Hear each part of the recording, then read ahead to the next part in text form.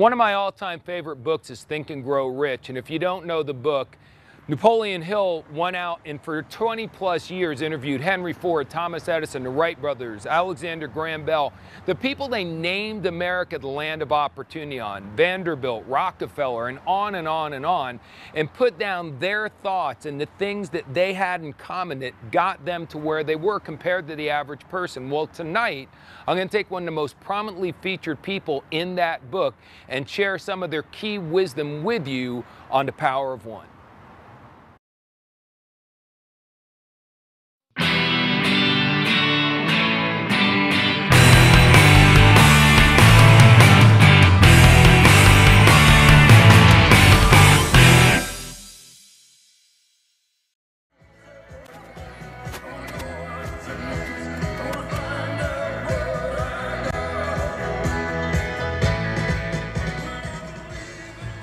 Hey, how's it going?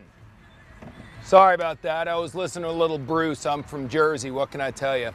So here I am in my car. I like my car. I have a Mercedes, which is a little against what I was telling you tonight because I'm going to tell you the story of Henry Ford and Ford Motor Cars. Have you driven a Ford lately? Have you heard of Ford Motor Cars? Well, needless to say, I wouldn't be in a Mercedes well over 100 years later if Henry Ford hadn't come out with a Ford way back in the day. And I believe it was June 4th, and I don't know the exact year, but I know it was over 100 years ago, when he introduced the first moving vehicle. Pretty remarkable stuff. And you know, it's just wonderful to think about how one man with a vision and a dream, I mean, come on, guys, what was more of a vision than an automobile? Think about that one for a minute. As a matter of fact, think about what the average person said when the car first came out. Before the car, how did people get around? Horseback? Let me ask you a question. Think there was anyone riding around on their horse who made fun of the car? Anyone who said, ah, that thing will never last? Anyone who ever said, yeah, well, my horse never ran out of gas?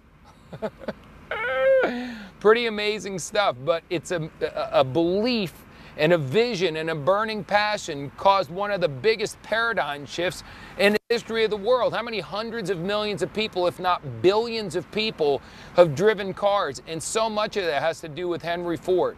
See, Henry Ford didn't have an elite education.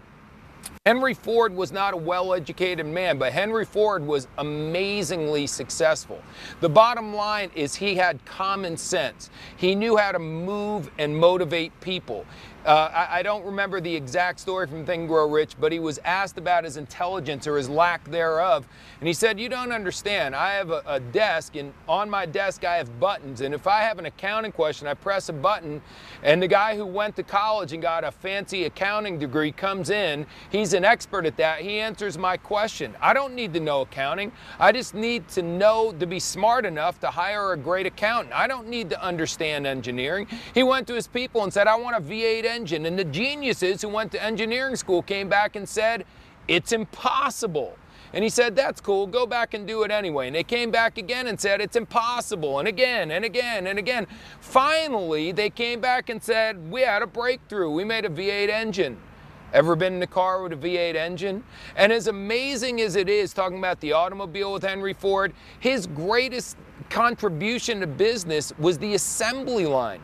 He introduced the assembly line. Think about that for a minute. Think about the massive paradigm shift in the way all goods all over the world have been manufactured because of the introduction of the assembly line. So he truly was remarkable. My favorite thing about Henry Ford of all things is probably the greatest quote about business and success I've ever heard. The man who thinks he can and the man who thinks he can't are both right. He had an amazing vision. A lot of other people over the years, maybe you have an amazing vision, but if you think you can't, you're right. But on the other hand, if you have a vision like a Walt Disney, like a Martin Luther King, like a Henry Ford, and you believe it's possible, then anything is possible. So, What are you going to do? What greatness is stirring inside you? What legacy can you leave? What amazing quotes can you share about your passion that people will be quoting hundreds of years from now? Henry Ford wasn't educated.